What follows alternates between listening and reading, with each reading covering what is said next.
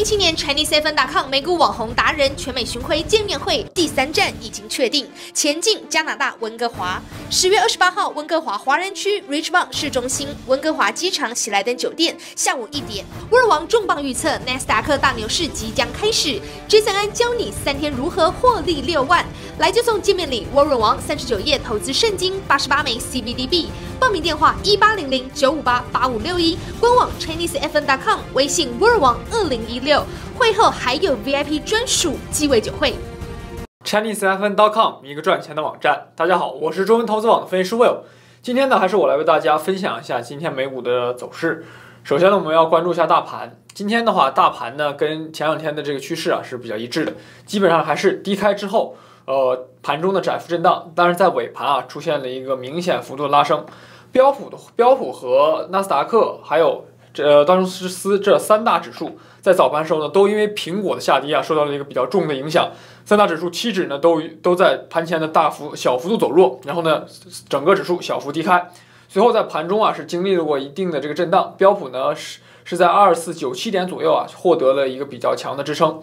随后呢，在尾盘时候呢，在市场呢，这是则是乐观情绪的一个恢复，出现了一个大幅度上扬。这个事情啊，其实我是觉得比较罕见的，因为在周末的时候，一般情况下市场都要有一个避险情绪，所以说通常是先上涨，之后呢会有一定程度的回落。但这一次啊，偏偏是反其道而行之，在尾盘突然出现一个拉升，这个呢，我想其中意味还是比较值得深究的。另外，从今天的板块来看，因为苹果重挫呀，所以说科技板块走势上呢整体上比较弱。呃，我们在之后啊，之前也跟大家提过，之后科技板块走势呢还有可能会因为苹果和呃 Facebook、谷歌等其他成分股的走弱而持续下跌。纳斯达克指数呢表现也将会弱于其他两大指数。这个呢是我们之后对于盘面的一个预期了。除了这个呃苹果之外，我们还要看一下，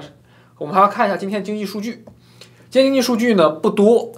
但是呢，这个数据呢却表现的很有意思，PMI 综合的一个采购经理人指数，这个指数呢从指数整体数据来看的话，是比市场预期啊稍弱一些，但是制造业居然和市场预期呢是完全一致的，这个呢是让人有点意外，因为我们知道在九月份，九月份的头两头一头两周啊，可以说是美国连续遭受了两场飓风的打击，按理说佛罗里达州跟德克萨斯州两个州的生产，呃，制造业啊，应该是都有一定的停滞的，但偏偏是其他州的这个强势，尤其像昨天费城的这样一个数据呢，大幅走强，把这这一块给弥补起来了。之后这个数据啊，可能还有还有一定程度呢会发生变化，但是美国美国制造业整体走强的趋势暂时不会改变。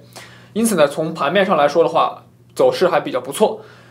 另外，我们要看一下板块方面的一个波动。板块的话，今天除了科技板块。按照我刚才所说的，因为苹果拖累而走弱之外，能源和工业这两个板块走走的都比较强。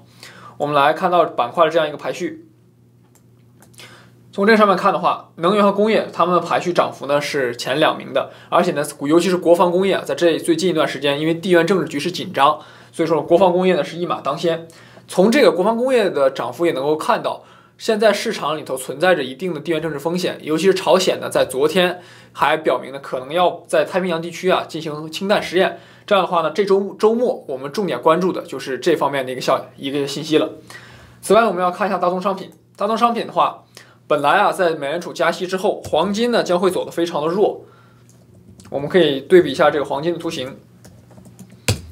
黄金呢很难走强，在日线上它已经是破掉前期的阻力位，现在呢在五十日均线处啊寻找支撑了。但是得益于朝鲜这样一个表态，在今天尾盘最后一个要收盘的时间呢，它成功收复了一千三百点。如果说这周周末，呃，朝鲜真的采取什么行动的话，黄金呢有可能会重新恢复一个上涨的趋势，这个呢就让我们拭目以待。另外一个则是原油，原油今天这个走势啊，真的可以说是一波三折。早盘的时候呢，本来美元美元指数走的相对较强，相对较强，但是在盘前啊冲高回落，结果呢油价呢还是处在高位窄幅震荡运行的这么一个情况里面。结果后面，在这个随后呢，英国方面的表态呢，导致美元指数啊出现了一定程度的回暖。大家可以看到这里，回暖之后，那么就导致油价出现了一定幅度下挫。那么在这个效应过去以后，油价再度上涨。通过这样的一个来回的这么一个折腾，我们基本上是能够确认油价是站稳在五十美元以上，只是现在需要有一个契机，让油价呢去上攻，攻到呃五十五美元附近这个位置，或者说打破之之前的五十亿美元的这样一个阻力位。最后呢，我们要看一看个股，个股的话，今天呢，我想提一提这个指数基金，就是 IBB。IBB 的话，这方面显示出来的它的有一个呃情况是这样，在日线上它已经呈现了一定幅度的疲态。如果不是今天盘中这国会议员麦凯恩宣布呢不支持这个废除奥巴马这个医改法案的话，可能今天 IBB 就会直接打破二十天均线，这样的话就会让 IBB 进入一个下跌趋势。但现在麦凯恩的表态呢，短线上似乎改变了这样一个态势，所以说下周这个将是我们关注的一个重点股票。以上呢就是今天的美股收盘内容，谢谢大家收听。